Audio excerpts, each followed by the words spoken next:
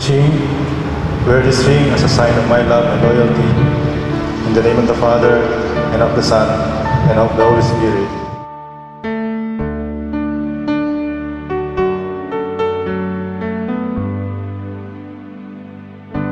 Dearly beloved, Marichu and Marvin, you are here today to seal your love with an eternal bond before the church.